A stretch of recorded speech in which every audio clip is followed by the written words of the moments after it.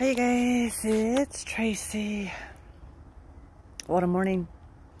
So I went up there and gave the babies new space and everything else and um, yeah. Um, and then the, the camera was saying motion and I thought it was the wind. Motion and I thought it was the wind. Motion. So I went up there after the third one so I can go cut the thing off to cause it in the motion and one of the babies were dead and um, I instantly freaked out and I thought the new teenagers pecked it to death. Um, I was mad. I thought the teenagers pecked it to death. And um, I was putting the babies, what was left of them, they were cowered in the corner, hidden in some mesh, and um, I picked them up and put them in their pen and locked the door. And then the teenagers were running, and I heard behind me, and there was the hawk. That is not what killed my first set of chickens. My first set of chickens was 100% human done. Um, they walked into my coop, they pulled them out of their pen, they broke their necks, they politely buried them, and then on one of them, they broke her neck and then gutted her with a knife, took all the feathers, and then buried this a fourth pile of her feathers. It was ritual, ritualistic. It was very, very clean. There was no sign of any animal, any anything with the first set of chickens. It was ritualistic. Um, I had more than one, more than two, more than three people come over. The first set of chickens were killed by humans. Uh, somebody wanted to hurt me, and they did, and the way they gutted her and took her heart, it is what it is. It is a fact. The police absolutely verified it was human that killed um, my first set of chickens. Uh, but um, because of the coop, um, and I never put my first set of chickens out when they were little. I never put them out when they were little. I waited until they were teenagers. Uh, but because I had the small coop, I put them out, thinking that they'd be safe in there. Um, and thinking that the aviary was safe. And um, the hawk today showed me by going through the pole and the fence. That's how it got in. Uh, still no damage to the coop, but that's how it got in. It got in through the pole and the fence. Uh, everyone says I should have killed the hawk.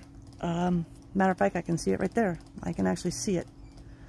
Um, but I resecured everything, made sure there was no gaps, made sure there was no... Um, there's a guy up the street who raises hawks. Uh, I'm not sure if this is his or if this is a wild one. I don't know. This was a baby. She was screaming mad. I wetted her down. And um, she cowered. And then I was able to grab her by the back of the neck and throw her out of the cage. Uh, but this one was very evident it was an animal. It was very evident. Um, the three that were murdered, 100% was human. No ifs, ands, or buts. There's no questions. There's no nothing. Um, so, yeah, that happened. And then I had the guy, I had a person possibly text me and say, you want help with your chicken coop? And I'm like, um, no, and I want you to stay away from me because he has some really weird issues over an old tenant or whichever. And I gave the police his, I gave the police his information because he could have done it. Um, but the second I had posted that um, there was a hawk in my aviary, he was like first. Out of all the people, he was like the first one to reply, you know, I'll come over and help you. And I was just like, dude, I don't trust you. And I gave your number to the police if you're the one that killed my chickens. And his name is Mario. So I blocked all Marios from my Facebook except the massage therapist, um, and my Instagram and Facebook and everything because the guy who killed the first set of chickens, or the person, was professional. They knew what they were doing. It was very satanic. It was very clean. It was very quick. Um, they knew what they were doing. Um, they knew exactly what they were doing. So this was it wasn't an accident. Today was an accident. Today is what I originally planned for, like hawks or something to come in, and I made that damn aviary to protect them so they couldn't come in from above. My bad was is there's a two inch gap between the pole and the fence, and you guys can look at the video, and that I didn't, I, I did not know that hawks would squeeze through cracks. I didn't know that hawks would squeeze through cracks.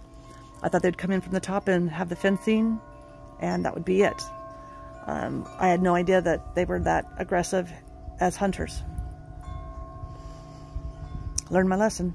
Um, And yes, I went around all of the aviary to see if there's any other holes, loose ends, any anything to where that stupid thing could not come back in. And I did a video. Yep, came right to the front, right to where it was supposed to be, right to the front. And that's how it got in. Uh, breaks my heart. It breaks my heart that it got through. But that's not what killed my first set of chickens. So uh, then my ice maker went out. And now my air conditioner's not working. You know, crap piles up. Anxiety piles up. and to know that someone's still lurking and stalking because there was no ifs, ands, but the first set of chickens were murdered by a human, somebody who wanted to hurt me. They did. This one was my fault. This was a hawk, and uh, I underestimated. I underestimated um, hawks. So yeah.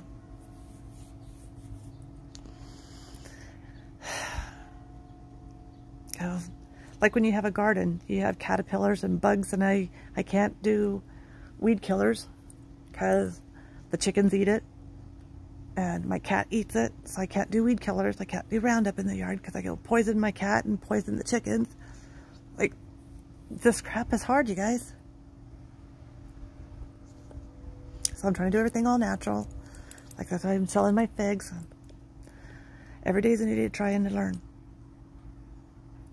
But yeah, the videos are there. You can see it. She's a baby hawk. Tomorrow's another day tomorrow's another day, but this is enough is enough, you know? Enough is enough. Before I lose it. That's all I have to say. Hugs from her vision. Bye.